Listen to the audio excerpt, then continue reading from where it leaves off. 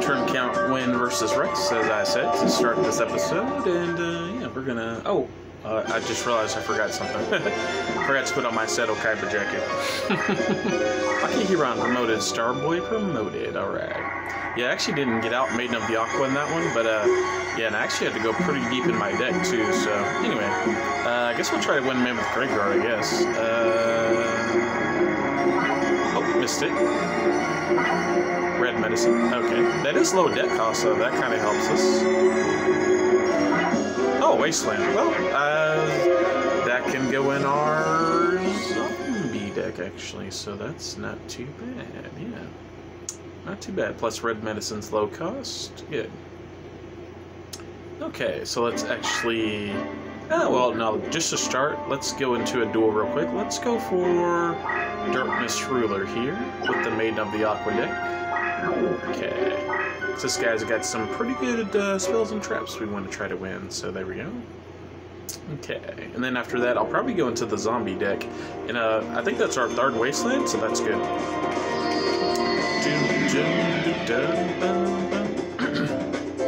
okay, let's see what we got here. A pretty good start. Uh, so I can fuse Metal Greymon or go for some seed. You know what? Let's just put something powerful out here. Uh, Greymon. Again, not the most powerful thing we can make in our deck, but uh, really I just want to see if I can uh, prompt him to summon some monsters. Let's see. Uh, okay, so we'll move this forward. I'll probably summon myself. Oh no. I was thinking I would summon Maiden of the Aqua. Don't have the stars for it, but uh, let's just play this here. I'm actually not going to move it because it'll stay within range of our deck leader. Plus, the tile that uh, Cybersaurus own won't become water, so and weaken them, you know. So I think that's good. Monster, yes. Okay. Metal Guardian. Wow, we actually beat it. Well, I guess that was a good decision overall. Hmm. Uh, one thing you may be able to notice here, though, is that this is a five-star monster, which just means he definitely had to play something, you know, either he played it, whoa, oh, that honestly looks pretty cool. The, the whole cloaking thing, not bad, Metal Guardian. Taste my mighty Gatling gun. Not bad. But, uh, yeah, something you may notice is this card is five stars, so, oh man, we split it apart. Nice. Good job, Metal Greymon. That's pretty epic. Uh, but yeah, it's five stars, meaning he like either had to play a two-star monster on his first turn, or more likely, this is a spell or trap card. So uh, let's go here. As a matter of fact, I'm so certain it's a trap. Here's what I'm gonna do. I'm gonna move uh, Power of Kaishin on top of it. Yeah, it is a trap. Okay. Yeah, and that's like one of the things you can do to. Uh, you know, sort of cheese this guy is do that, and then, you know, move your card that can power up right on top of it. So there you go. And we'll chase him down with Metal Greymon. Okay, uh, your turn. I'm sure he'll defeat, you know, Cybersaurus with something, but uh, it's fine. Uh, okay, just defending. Okay. Let's see what we got here. Um, that's a good trap card.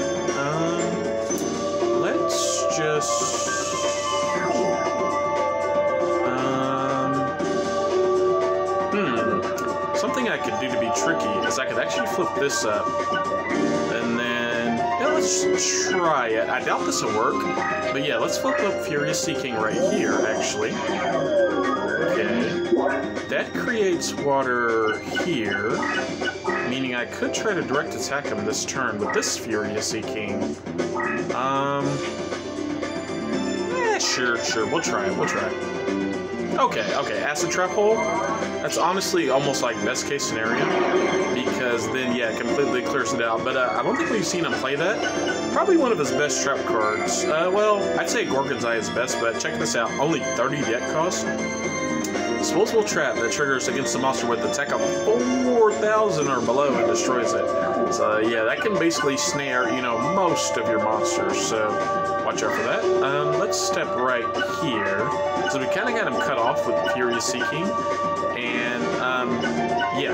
uh, one thing I didn't think I mentioned is if you can get here to the forest terrain, yeah, his fiends are actually powered down on forest. Um, but he'll probably go onto the dark square first. Yeah, yeah, yeah, yeah. With the, but yeah, if you can manage to uh, chase him into, you know, this corner with the forest, that's definitely your best bet because, uh, yeah, it'll definitely weaken, you know, his monsters. So it's probably the best strategy against this guy.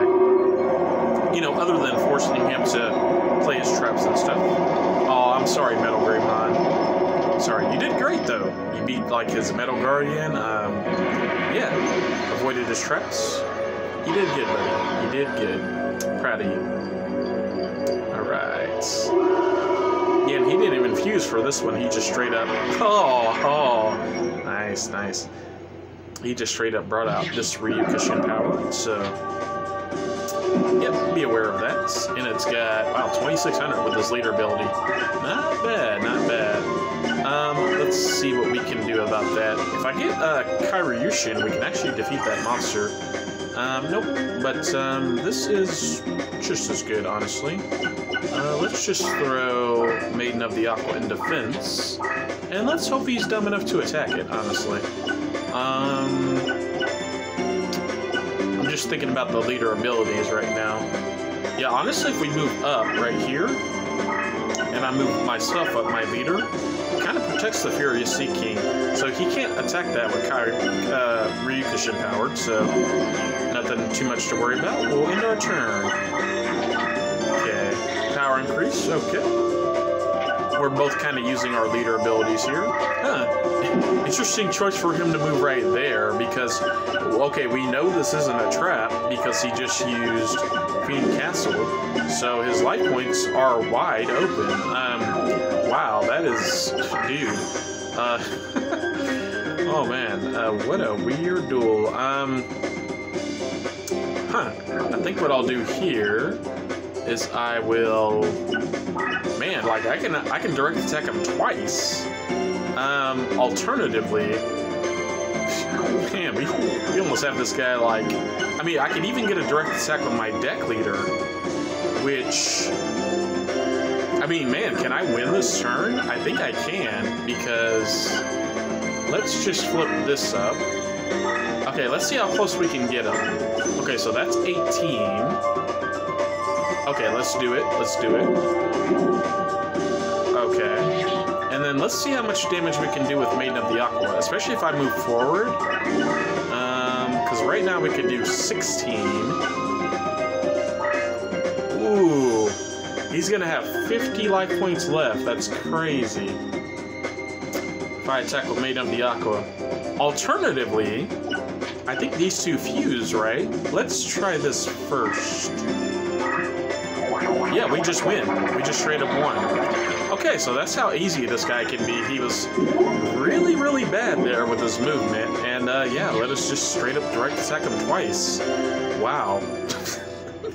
like, dude, there may not even be hardly anything in the graveyard. Oh my god. Well, we'll take it, I guess. Uh, that was a that was a quick one. That was an easy one. I guess we'll try with Fiend Castle. Or Tears of the Mermaid, yeah. Okay, we got tears. Let's try for three tears. Oh man, it's tier elements, guys. Watch out. It's the it's tier zero. oh, we missed it. Okay, well I guess we'll try for and if you see the art of Fiend Castle up there, it actually that's what the art for Toon World in this game.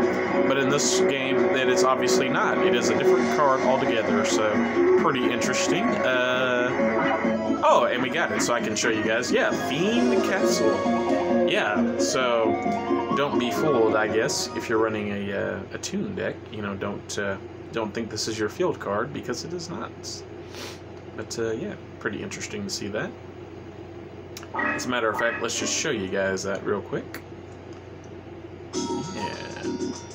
I think I do have a couple fiends on the other deck as well, but yeah, check it out. Yeah, this is this is Fiend Castle, guys. Yeah, yeah increase the power of fiends by 500. But yeah, this is uh, normally the art for uh, Toon World, so pretty strange seeing this only power up fiends and nothing else. But uh, anyway, uh, let's see. Oh yeah, in this deck, do I have another Infinite Dismissal? I did just get another Tears of the Mermaid. I do. You know what? I think I'll swap these two out. Yeah, because like I said, Infinite Dismissal, eh, kind of useful, stalls for three turns, but I think something that decreases um, uh, attack overall is better. So now, is this the Pumpkin deck? It looks like it is. Yeah, because we got the Wastelands. Okay. Also got another red medicine in case I need to do some low deck cost stuff. Uh, let's take a look here. Maybe I'll take out Dismissal for Wasteland. That honestly seems good. Let's just do that real quick. Um, yeah, okay. And then we'll, uh, think we need like one more duel for reincarnation, I think. Let's see. Oh yeah, I forgot what time I started this too. Well, it's like 5.35 right now. We'll just go to 5.55 just to be on the safe side. Uh, so I'll save here. Okay, and we're at Major with this deck, so it's either Rex or Weevil. Let's take on... Uh, let's take on Weevil, actually. There we go. Okay. Alright, we haven't faced, like, Bandit Keith in a while, so... Uh, next episode, we'll probably do that. We'll probably face him a couple times. Yeah. Alright. Here we go. Let's see what we got here. Not too shabby, honestly. Um, let's just start with... Let's dump this card and summon this. I like that. We'll get the castle going right away. And end the turn. What you got, Weevil? Okay. Oh, and normally he moves it right toward us, so maybe this is a trap card? I don't know. Uh, anyway, let's go. Ooh, good combo. Wow, so we drew we drew this along with Toon Summon Skull. Now, as I said, yeah, fiends are yeah powered down here in the forest, so you may want to go for that if um, you're having a tough time against uh, uh, uh, Darkness Ruler. So there you go. And I'm just gonna set this as kind of bait. You know, if he moves two squares into it, that's fine. You know. So there's that. Um, honestly, and he didn't power this up, I think Toon Summon Skull will be enough. So, oh!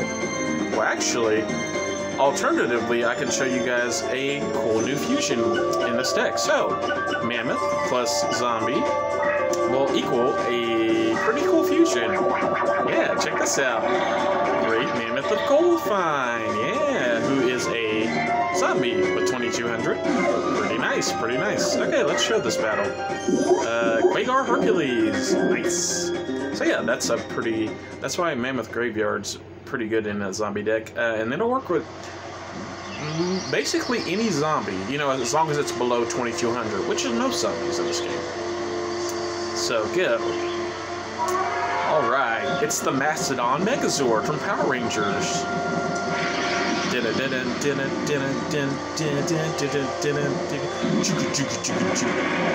Mastodon. Triceratops, Saber-tooth Tiger, Tyrannosaurus.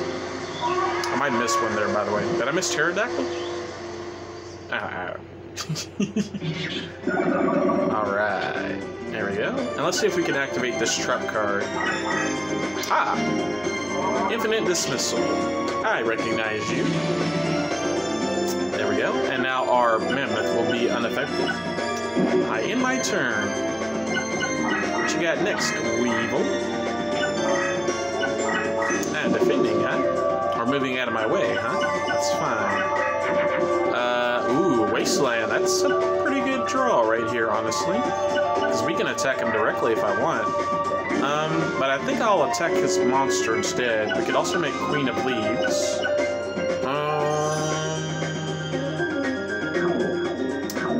Instead of the Wasteland, let's make Queen of Leaves, actually.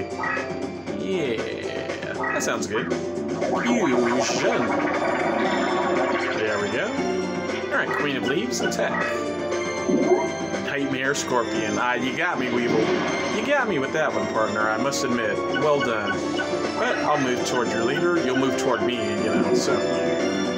All's fair, all's fair. Alright. Nicely done. Okay, defending. Good.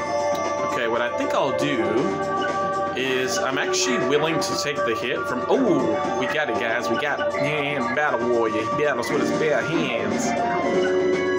But I think I'm willing to take the hit um, and just play the Wasteland card, mainly to make sure nothing, you know, crazy happens to Great Mammoth here. So, yep, we'll just play Wasteland.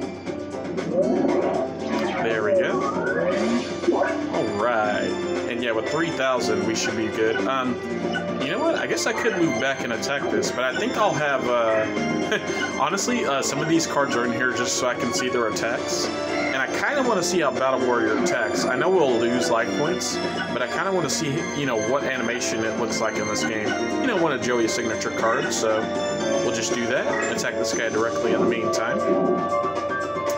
Yeah especially if like he just stays here in the corner or if he like runs over this like yeah i think i'll just go with uh i mean i could even move out of the way of nightmare scorpion actually. So yeah i can move like right here and then he can't attack me yeah so yeah let's do that. And next turn if it looks like we've got this wrapped up i'll definitely just show battle warriors attack just to just just so we can take a look you know signature Joey card. Yeah, and it looks like we do because we can move two squares here. So let's just um, just to see. Let's have Battle Warrior attack this card because I want to see how you attack Battle Warrior.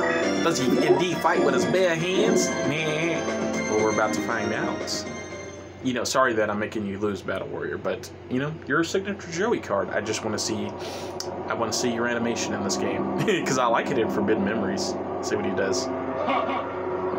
Whoa! Oh, not bad, honestly. Power Knuckle, nice. It looked pretty cool there how he powered up. He's just like, huh, you know. not bad, Battle Warrior, not bad. But we see he does indeed fight with his bare hands. Dead. Alright. There we go. Alright, guys. We'll go with Great Mammoth, and we'll attempt to end the duel. Let's see. Right here. Very good, very good. Okay. So, Weevil and uh, Darkness Ruler really didn't give us too much trouble today. Alright. You win. Guess we can go for about 13 more minutes. You know, assuming I'm right. I could be wrong. Alright, three in a row. Let's see. Okay, we'll try for one anyway. Okay, I guess Kumo Toko it is. Uh, let's see. Oh, I missed it big time. Well, uh, Quaker, guess? Oh, I missed that too. Oh. Wow. man, we haven't hit a three in a row in a while. I've been doing kind of bad though on those, but that's that's my bad, guys. I remember one recording session we, we were on fire with the three in a rows though. Okay, well actually, um, looks like we have a reincarnation available. And, uh, you know, there's no guarantee I'll get a, a card that I kind of want. So I guess for the rest of the episode, we'll just try to reincarnate a couple times and see if we get uh, something I'm willing to keep. So Kumo Toko, right around 21. You know what? Let's reincarnate that, actually. Let's see what we get here. Uh, is that hard armor? yeah, it is. Uh, what is that? Oh, enchant. Ooh, is that a fish? We might honestly save this one. Ooh, and a plant. Ooh, that's actually a pretty good effect monster. So, yeah, she's a fish, which can uh, fuse with some of our dragons to make uh, Kairyushin, as I'm sure you guys know. Uh, how many fish do I have, by the way? Let's go to type sort. Um, I think I, yeah, yeah, I just have just white dolphin. Okay, so I think we'll keep enchanting mermaid. Um, yeah, this card actually has a pretty good effect. Check this out. Yeah, Laughing Flower. Control of opposing card is gained when this card is flip face up in battle. Pretty good effect. It's like, um, it's like a walking change of heart. Well, I guess unless you don't attack a monster, you know, if you happen to run over a spell or trap, I guess it wouldn't work, but pretty good effect, honestly. So, yeah, Alright, so I guess we'll swap out some stuff. Uh, can I swap out a Tomozaurus for this? Uh, for Enchanting Mermaid? Yes, I think that's still under Necromancer, so that's good. And for the flower, um, yeah, really good in any deck. This card's good in just about any deck. Um, I will put it in the zombie deck, though. Uh, so let's take out... Let's see, maybe I should take out the Cocoon combo altogether. Uh, yeah, yeah, sure. So we'll take those out. Uh, I have some thieves in here, right? Um, shouldn't summon skulls in here?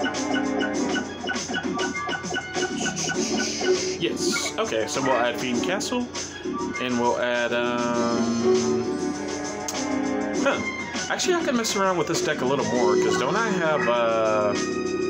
Don't I have Job Change Mirror and stuff? Let's see, let's go to Type Sort. Um, Yeah, yeah, I have King of Makai and two Job Change Mirror. Okay. Um, yeah, we can we can throw a few fiends in here. Zoa as well. Wow. Um, Soul Hunter. Yeah. Treasure Chest. Okay. So I can throw in about let's see the Treasure Chest and the two Job Change and King of Makai. Okay, so that's like four cards. Um, let's look at the power-ups I have in this deck. Uh, okay. Let's take out... Let's take out... I think I'll take out, like, the beast stuff, yeah. So let's take out... No, we'll leave the female in case we want to fuse into Queen of Leaves. But let's take out yeah, this stuff like Wolf. Um, let's take out. Well, we've seen his attack, so maybe I'll take out Battle Warrior. No, he confusing the Zombie Warrior. He's fine. Maybe we take out, yeah, King Tiger. I love his effect, but, um, yeah, not too necessary in this deck. Um, what else? Um, maybe I'll take out a Pumpkin.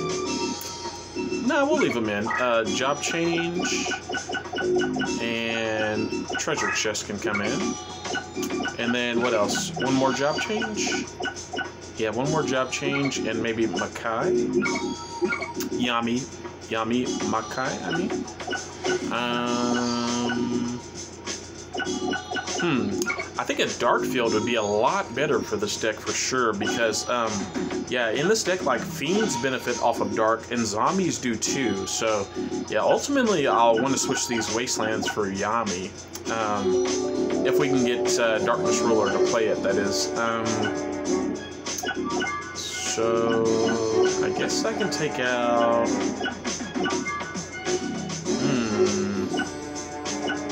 Hurricane? yeah, yeah, yeah, yeah. Hurricane, goodbye. Hello, Job Change Mirror. And then maybe I'll throw in the King of Yami Makai. That way we can use Kamehameha ourselves.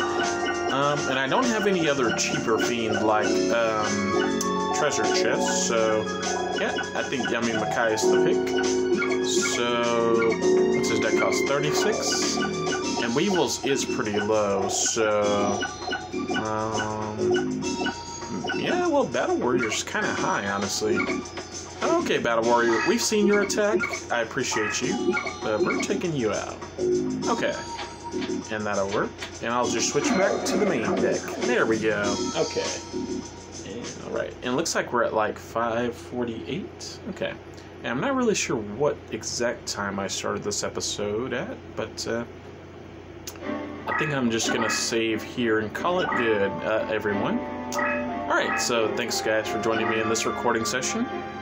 Uh, yeah, some pretty good progress as far as like some pretty good cards, like Time Wizard. That's that's pretty good, and that Life, Laughing Flower is pretty good as well. Um, but yeah, next time, yeah, I think I'll duel, you know, Bandit Keith a little more. We haven't really dueled him that much, and uh, lately, and uh, yeah, and then we'll just, you know, yeah, and like I said, this is this feels good at this point of the game because normally, in order to duel against Pegasus, normally I would do, you know, maybe not this level of grinding, like 150, 15 duels worth, but I definitely would, um, you know, power up my deck with, um, you know, every duelist besides him for sure. I that is definitely what I do in my normal playthrough. So feels good that we can face uh, five people right now. But uh, yeah, all right, you guys. Uh, until next time, this has been Floodmon 14 uh, for the Duelist of the Roses ranking challenge. All right, and I'll see you guys all next time. All right. Till then, take care of yourselves and each other. Have a good day.